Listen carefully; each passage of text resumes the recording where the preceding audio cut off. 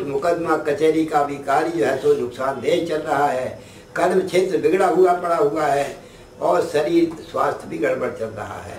इस प्रकार से आपके मकर राशि वालों के लिए शनि जो है तो मकर राशि पर जन्म का है।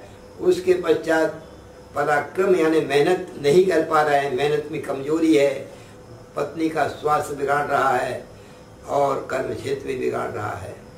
साथ साथ में गुरुदेव आपके बाद में हैं तो अच्छे कार्यों में खर्च रुक नहीं रहा है, पैसा रुकता नहीं है आया राम गया राम हो रहा है, खर्च की मात्रा बढ़ रही है।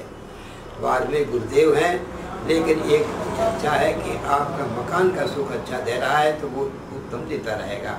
रोग शत्रु विनाशक है, रोग और शत्रुओं का विनाश अपने आप हो रहा है। और साथ साथ में आपके बारहवें स्थान पर वो होने से आपका स्वास्थ्य भी अच्छा रहेगा।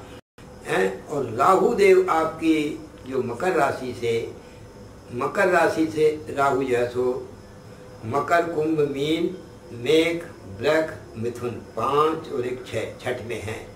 मकर राशि राहु वर्तमान में बहुत अच्छे चल रहे हैं। और ये तेईस तारीख से अभी जो पाँच में हो जाएँगे तो संतान को कष्टदायक होंगे। तेईस तारीख से तेईस सितंबर से संतान भाव में राहु आ जाने से संतान को पीड़ा दायक रहेंगे, प्रेम संबंधों में प्रगाढ़ता मिट जाएगी और अनेक प्रकार के झंझटें सामने आ सकती हैं और आपको चिंता कारक समय रह सकता है।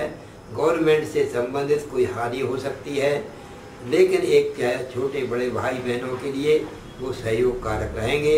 इस प्रकार से मकर राशि वालों के लिए मिला जुला फल देने वाला यह सप्ताह रहेगा।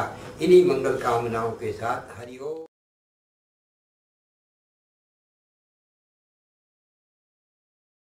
हर समस्या का समाधान। वो भी घर बैठे बैठे।